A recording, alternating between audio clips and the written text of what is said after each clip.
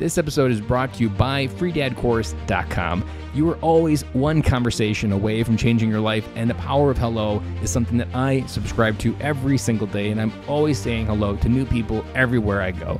Increasing your opportunity, increasing your connection, and getting access to the solutions to the problems that you are facing, whether you're on active duty or just beginning your veteran transition or even transitioning out for 20 years on the other side of hello are the solutions that you're looking for. Again, head on over to freedadcourse.com, get your five episode audio course to create more connection, create more friendships, and get back to living the life that you're trying to design. Dory 1, this is Fire Team Delta. Dad's coming home. Welcome to the Military Veteran Dad Podcast, where it is our mission to bring every dad home. I am your host, Ben Killoy. I'm a United States Marine veteran, husband, and a father. We will bring authentic conversations to inspire action in your life so we can close the gap between the dad you are today and the dad you want to be tomorrow. This is the Military Veteran Dad Podcast. Welcome back to Military Veteran Dad, episode 79. This week's episode with Kimber Hill is going to be a different one that we've never done before. Kimber Hill is the co founder of VirtForce.us, which is a remote work talent agency that specializes in helping military spouses and veterans find opportunities within the remote world. And being a fellow job seeker, I can say the remote work is one that is often talked about, especially in Corona. These things about working from home, it's more companies are doing it, but trying to find the right job or even fi- trying to find a position that doesn't have 2 million people applying to it can be extremely difficult. So, what I like about VirtForce is it's kind of the back door into the system of remote work because she already has the relationship with companies that value hiring veterans, value hiring military spouses. They understand what that family is going through. They understand what that family has gone through, and they want to make sure that they have an opportunity to serve and find a purpose in life, just like everybody else. And so her agency helps veterans and military spouses, like I said, find that path to remote work in a sustainable that's flexible that as you, you PCS from one duty station to the next, you're not always having to find a new job, that these jobs go with you because they are fo- founded on remote work.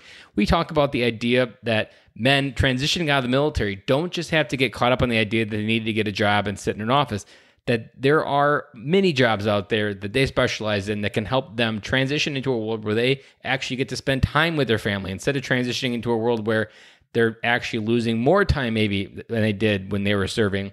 They help create environments where dads can really be present, they can be within the family all day long. And guys, that's what our families need. They need our presence, they need us to be there. And so much of our soul, especially on the other side of transition, other side of transition is where we just spend so much time in the military and we just want to focus on being dad. These opportunities are perfectly played to that. So, without further ado, let's get started with Kimber Hill because this episode is completely different than we've talked about, but it is absolutely awesome because it goes into a whole new world that most people probably have never thought of. And I will see you on the other side. Welcome to the show, Kimber. Hey, Ben. Thank you so much for having me on the show. I'm excited because we have never really dived into any angle on what you are talking about today. And so, for the listeners, go ahead and unpack a little bit about what you do and what your business does and how that can really open up a whole new world that people haven't been open to before. Absolutely. So, VirtForce stands for the virtual workforce, and that's the name of my business. We I'm a military spouse, active duty military spouse, which means I'm, you know, trailing my husband all over the world uh, for his career, which I fully support. And to be completely transparent with you, I think I would be totally bored with a regular suburban lifestyle. So this is a fun adventure for both of us. But one of the big challenges that military spouses face are is career continuity. And in turn, it really impacts your identity if you have to reinvent yourself every two to four years, depending on how often you're PCSing. So we started VirtForce in 2018 to help connect military spouses to virtual and remote careers that they can do from home, first of all, and that will transport with them to any upcoming duty stations, which kind of comes full circle. And one of the reasons I wanted to speak to your audience is a big component of that is being able to balance your work from home remote career with being a stay at home parent. And I also think a lot of people may have the pre preconception that all military spouses are female because they're not. We we serve mm. a lot of male military spouses and in approaching this community, we've recently started serving a lot of veterans too because we find that when veterans are transitioning out of the service, they've spent so much time away from their family that they prefer a work from home career um, or side gig or gig based opportunity or project based role so they can be with their family more. From my perspective, working from home is just a great mix of being able to provide income for your family and also be a part of the family, be closer to home. And what you're speaking to there is on the military spouse side, often the worst problem that we have or that that word has or any of the words like stay at home dad, stay at home mom is their labels. And labels have stereotypes and labels have definitions that people just assimilate and assume to be true.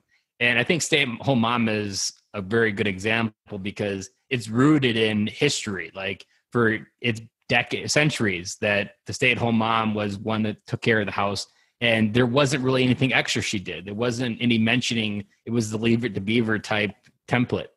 Yeah. And when we, as we go into the next decade, like it's all about trying to like redefine those labels and help shatter them. Because once you dive into them, you realize the labels are completely wrong. Like even just learning, like there's an entire community of stay at home dads that support their wife in their career, and their wife gets to have the career. I actually have a shirt that says "Stay at Home Dad: Family over Career," and yeah. that's it's you don't i didn't get open to that world until a few months ago and it does wasn't even in my radar.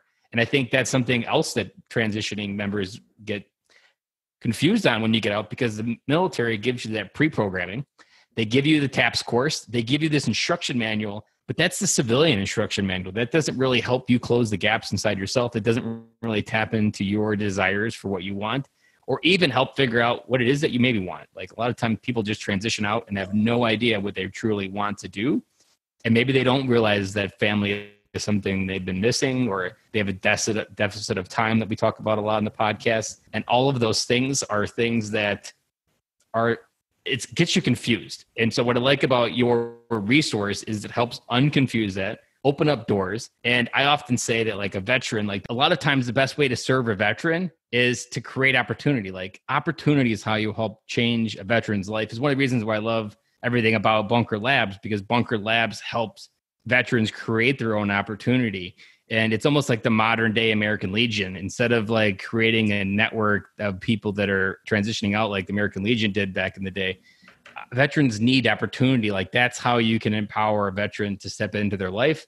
And mm-hmm. that's a lot of what you're helping veterans in a very unique way create opportunities that aren't Googleable unless you start knowing what to Google. Like that's a it's a limit of Google. Like Google is only as good as the words you put into it, and the words you put into it only as good as the the words that you have inside yourself. And so I love everything that is about your mission and what you're able to to do.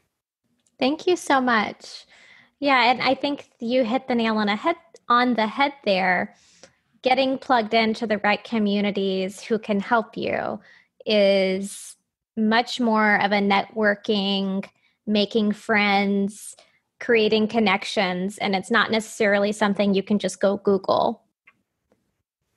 When you reflect backwards, because you weren't always this enlightened with all these amazing opportunities and resources, if you were to time travel back to the moment where you were kind of right, maybe a, a week before you started VirtForce or you had this idea hit you, what was something that you would wish someone would have told you in that moment that you wish you could have used now and maybe would have shortcut that process? Like if you could go back and give yourself a sticky note of advice, what would that look like?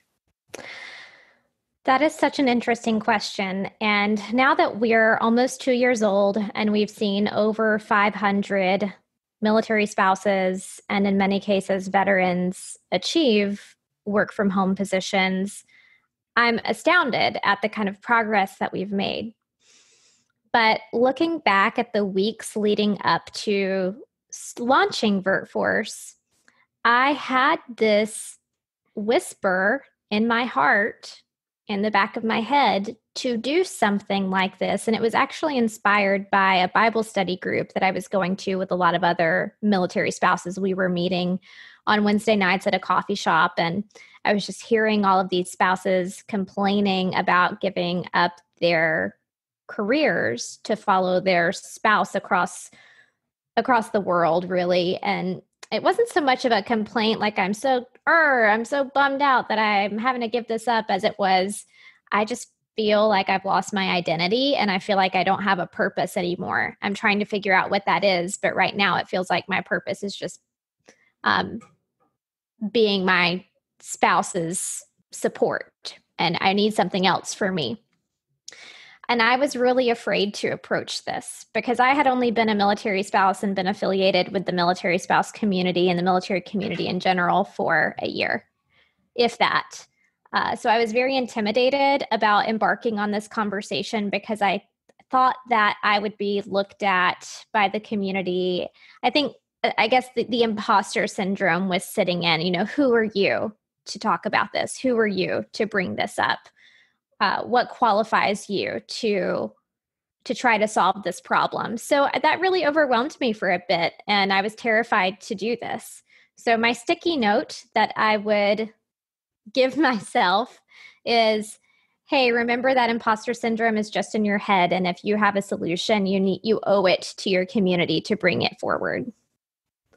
That reminds me of a story from podfest where we also met again and there was we were at the networking roundtables, and there was a I don't think she wasn't military related, but she helped edit podcasts for other people. But she had a podcast on her heart to help mothers through postpartum depression. And she was kind of listening to that probably imposter syndrome. And I remember at the table, because her mission, like my mission, like when you bring your voice into the world and help be that friend that someone needs through darkness, you can help save a dad and give their, a dad back to their family. In her case, a mom back to her husband and to her kids like i had four w- women at that table crying when they kind of all realized what she was holding in and not getting out and stepping into. And that's so powerful because that i had it myself. And one thing i liked about podcasting was i could kind of hack away at the imposter syndrome week by week. And as the stats climbed up it would almost internally crush the the person that said you're not a podcaster because but then when you see the downloads you're like well that's not what my voice in my head is saying. Like that says the exact opposite. And it was a nice safe place podcasting. Like you're not going to explode. Your voice going into the internet isn't going to reflect back and it's going to be like kryptonite. And so that little space for me was a great place for me to start. And i think if you feel an over suffering imposter syndrome a podcast is a great thing because it's a nice safe space you're having a conversation with another person and that can help you go forward. I want to maybe look forward towards the dad for a second. So, if there's a dad listening to this and their military spouse and their wife has said, I suffer from an identity crisis of moving from base to base, as a woman, what are those things that you liked about that maybe your husband did or that you wish your husband would did? Like, what advice would you give for husbands to, to be the person they need to be for their spouse during this time? Or during that feeling is a better way to say it probably I have loved every time my husband has created space for me to pursue VirtForce and pursue something that really lights me up. Prior to VirtForce, I wanted to launch an Amazon store, and I did that. And my husband, in every situation where I've had an idea for how I can fulfill that component of who I am he's just been so incredibly supportive and his exact words every time are you know you can do anything that you set your mind to. And i know that sounds kind of cliche but i promise you he really means it. I know when he's talking to me i 100% believe him and he says i i believe that you are going to be successful at anything you do pick what you want to do the most, pick what you really love, because whatever you do, you're going to be good at it. So I think really laying down that foundation of encouragement and success, giving me time uh, to get that done. So occasionally, what that looks like is he's making dinner while I'm in another room working on the business.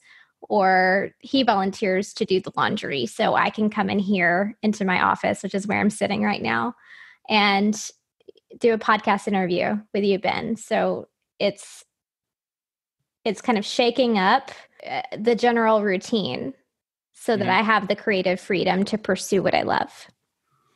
And if I were to bring like a masculine and feminine in, as he steps into his masculine to create a kind of a calm space where you feel safe to to let yourself grow and be more you, then allows your feminine come out. But then also you allow it and figure out who you are as a as a strength and as a beauty.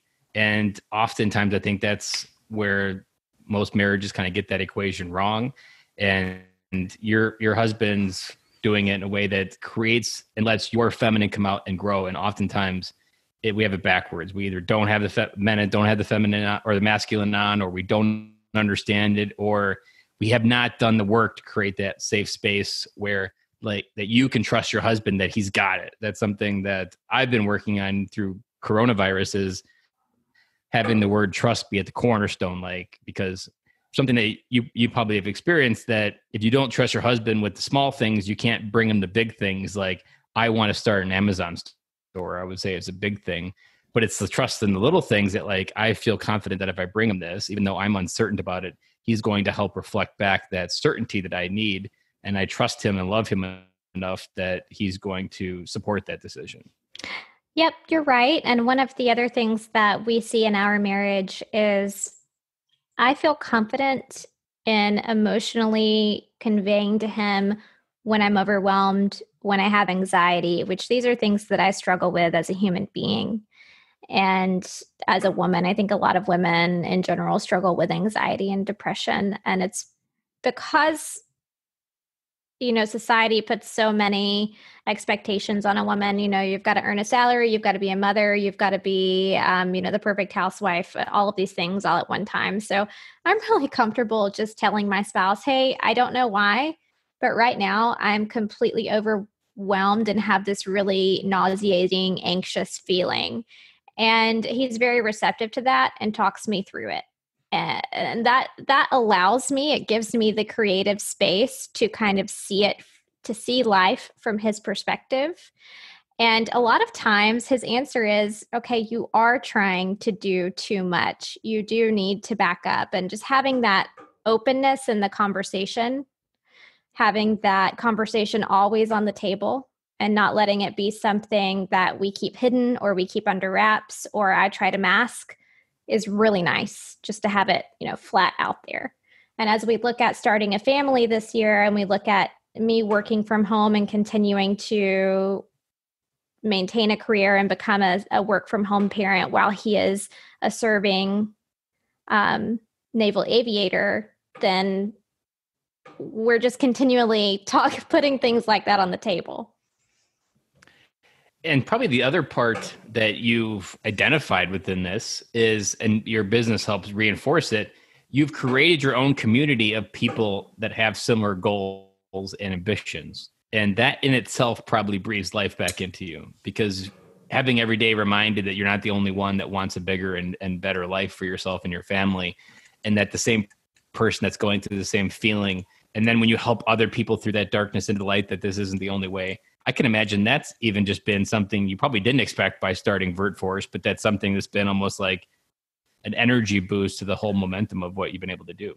Absolutely. And we we created VirtForce to teach the military community, veterans and military spouses that working from home is possible and then we created the community to help connect them to virtual vetted military friendly opportunities. So we have all of these employment partners that we're building relationships with.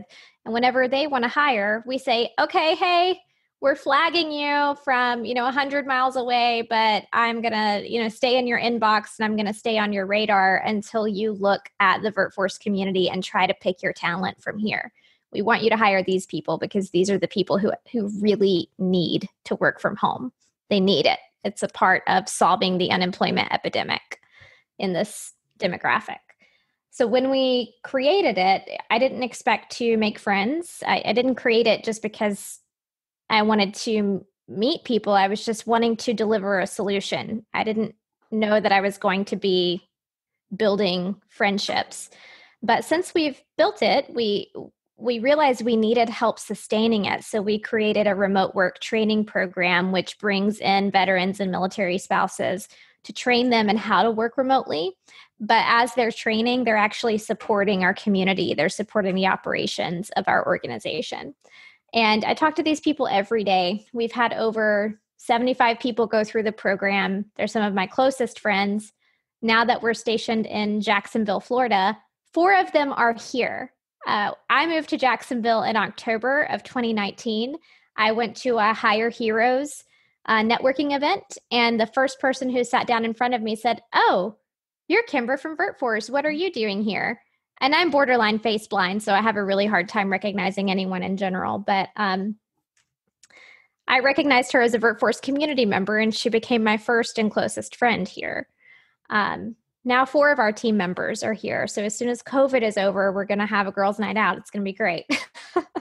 but yes, you're right. Night as well. Yes, you're right. It does energize you. It's was not the initial goal, but it is now the reason for keeping on, keeping on. And you hit on something that is so powerful for everything about moving your life forward. And it, there's a quote that kind of like started my journey from Zig Ziglar that you can always have everything in life you want if you just help enough other people get what they want.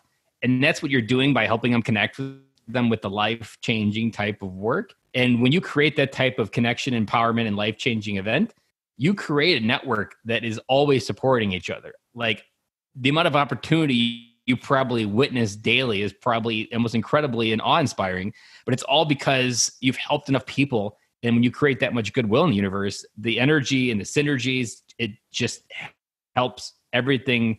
Like you just know so many more people, like going to military influencer conference two times, connecting with that community, connecting with people that you maybe don't talk to for a year, but then you say hello again and it's like you've never said goodbye those mm-hmm. types of mm-hmm. friendships mm-hmm. are so like for me lifting myself up and getting connected with everything that i am just having a conversation with someone a dad like sharing what our kids are doing that gets me the most excited and when you create the community that you've got you create almost an insurance policy that your life keeps going in a positive way because there is so much goodwill surrounding you that can help but make your life go forward I like your perspective on that. I really do. I and I do believe in servant leadership. That's our core value at VirtForce. Doing things for other people and and making making an impact in that respect, which is one of the things that I love about what you're doing at Military Veteran Dad because it really is servant leadership. It's saying I can make money in any industry in any job. I can do whatever I want for a living, but I choose to focus on this community because I love it. And I'm going to serve this community a lot of times, you know, with no financial um, revenue coming in. I'm going to do what I can to help this community. And eventually, I'm just going to believe and have faith that things are going to fall into place. And my vision is going to eventually marry with um, a source of income, right? Mm-hmm. You know, you just pursue it because you love it and you love the people. And I think that falls back to that that age old saying, if you do what you love, you'll never work a day in your life. Love that one. Yeah, it's it's important. So as we wrap up the interview, if there was one perfect piece of advice that you want a military dad to know that either comes from your experience being married to a husband, what would that experience or what would that piece of advice look like for you? Well, I'm not a veteran and I'm not yet a parent, although we're we're hoping to get there very soon. So what I want to speak to you about is we see a lot of male military spouses who are also parents in our group, and we see a lot of uh, transitioning service members and veterans who are in the VirtForce community as well. And they're chasing remote work opportunities because they crave the opportunity to work from home with their family to not be a slave to a brick and mortar and a nine to five uh, and I, I don't mean to say slave in a way that puts you down if you do want to work in an office or if you do want to work a nine to five. So forgive me if I've stepped on your toes there, but to me, that's just very far from what I want out of my career at this point. So, what I want to tell you is being a work from home dad is possible. We help people get there. Uh, we've seen three dads hired in the last six months in virtual work from home positions. We would love to help you. If you would like to connect with VirtForce, you can join our private Facebook community. That's V I R T F O R C E. And just drop in, say hi, tell us who you are, and get connected on our job board, jobs.virtforce.us. All of our services are free. Uh, we're just here to help you get plugged in and help you find that work from home balance. We also have a great podcast. You can find it just by searching VirtForce, where we teach remote career strategies and remote career tips to help you find that perfect position that's going to let you be at home with your family and also provide income for your family. And it's not just limited to veterans, like because there's lots of uh, non-veterans that listen to this and non-military as well. So, but is it for all vet or everybody that's looking for a virtual idea? Oh, that's such a great question. We are growing kind of the civilian community, and um, we have programs like Resume Bootcamp that's that are open to everyone. But we really do specialize in building military hiring initiatives for our employers. So, in that respect, when we're working on a military hiring initiative, we're specifically looking for transitioning service members and military spouses who are looking for employment opportunities. But our resources are absolutely for everyone. You know, learning how to market mm-hmm. yourself mm-hmm. in the remote workforce applies to everyone. Learning how to build a resume that is applicable to the virtual job market is applicable to everyone. So, um, we, if you're interested, just join us and and we'll figure out a space for you. And it's very similar to this podcast that just because you're a military dad or or a non-military dad swap out a few words and the advice applies in the exact same way it's just mm-hmm. i use language that resonates at a frequency with military folks or or use military jargon but the advice of how to be a great dad and step into your life is all still the same so i absolutely love that advice because that you're you're just opening up that door that we talked about earlier that you you don't know what you don't know and so much about the transition about stepping into your family coming back home is finding the right door that you fit into and stepping through it. And I spent 10 years stepping through the wrong doors.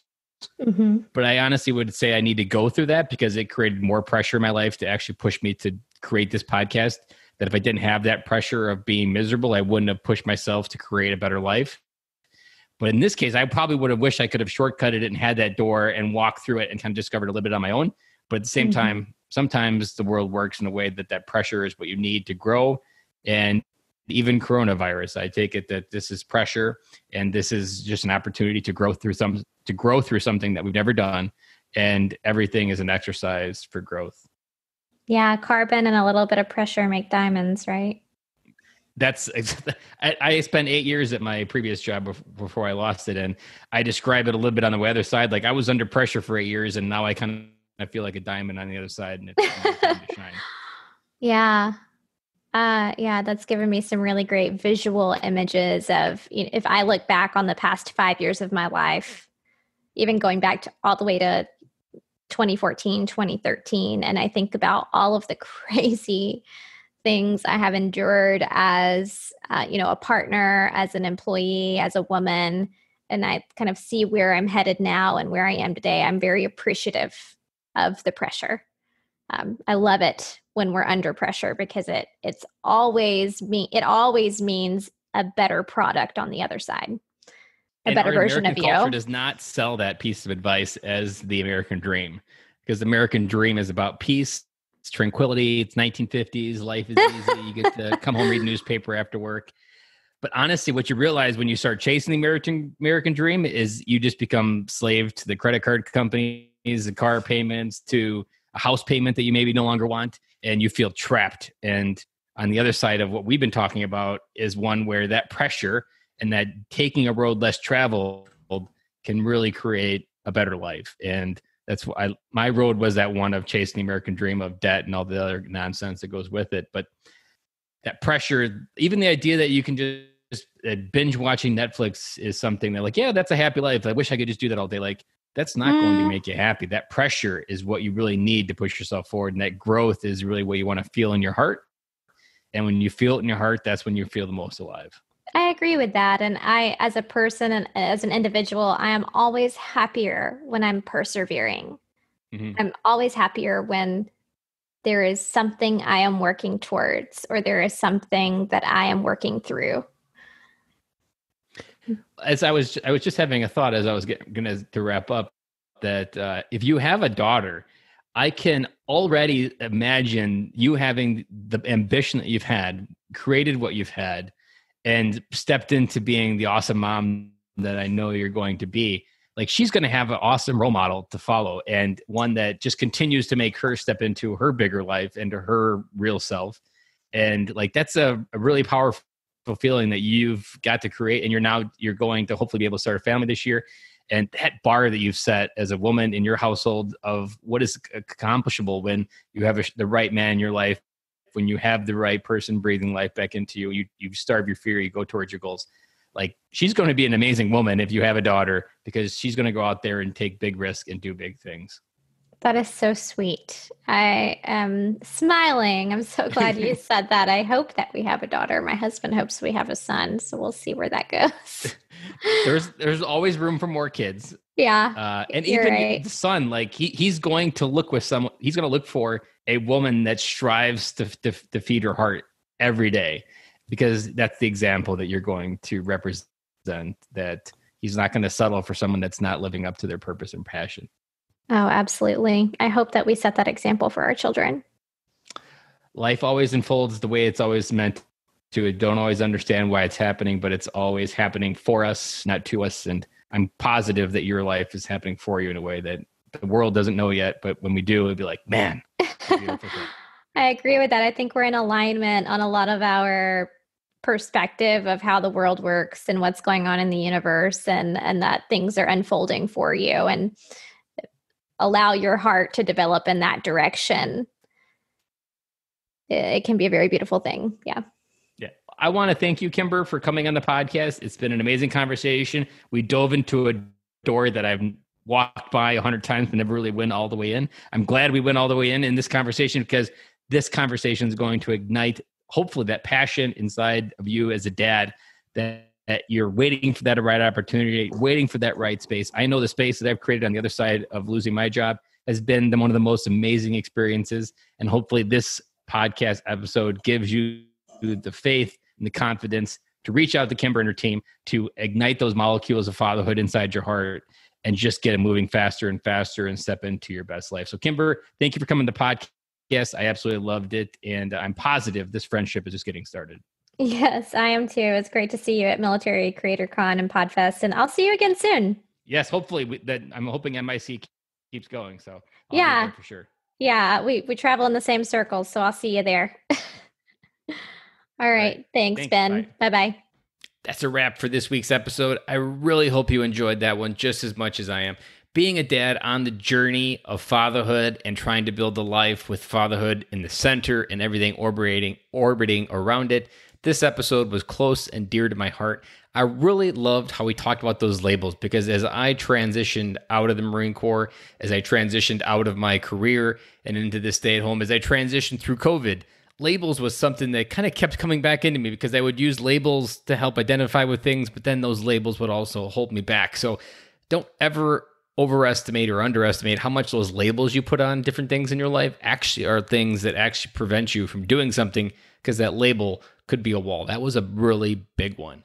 I really like the advice you talked about focusing on the spouse because that spouse is someone that you're trying to be there, you're trying to be supportive, especially if you are active duty listening to this podcast because you're trying to empathize with what's going on in her world. You're really trying to be everything you need to be as a husband for her and getting it from the other side. Like I said in the very beginning, whenever you can get the advice right from the, the source, that is so much more powerful. And then starting a family while you're having a business, that's also something that's very taboo these days. And it's also, there's lots of people on different sides of the aisle. And there's a great story that she tells about how she's doing it in her life and how her husband is there supporting it. And I really loved that story. And like it said in the beginning, finding that career as a dad on the other tra- side of transition, that was my major takeaway from Kimber Hill's episode today. And I really hope that you guys got out a lot of it. If you want to talk anything about being a stay at home dad or trying it, or if you want to figure out how it could work, reach out to Kimber Hill or reach out to me. I'd love to have a conversation. All of Kimber's contact information is down in the show notes, the website, her LinkedIn profile. She is more than willing to reach out and help. And they have a great staff to help you guide through that journey, no matter where you are at in that transition process. They can help. So, with that, I'm going to sign off and I will talk to you guys again on Friday.